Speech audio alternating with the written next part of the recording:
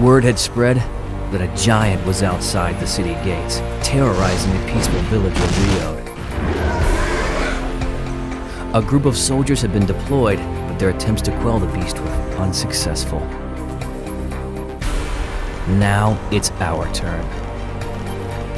But no amount of training could have prepared us for this.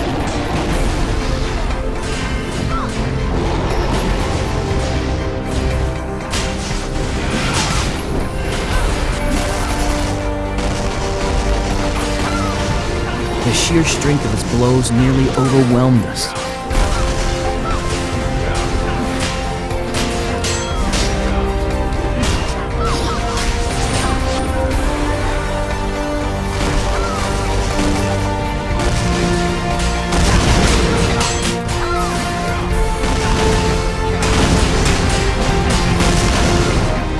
In the end, the monstrosity fell. And while the city sleeps, we will continue the hunt.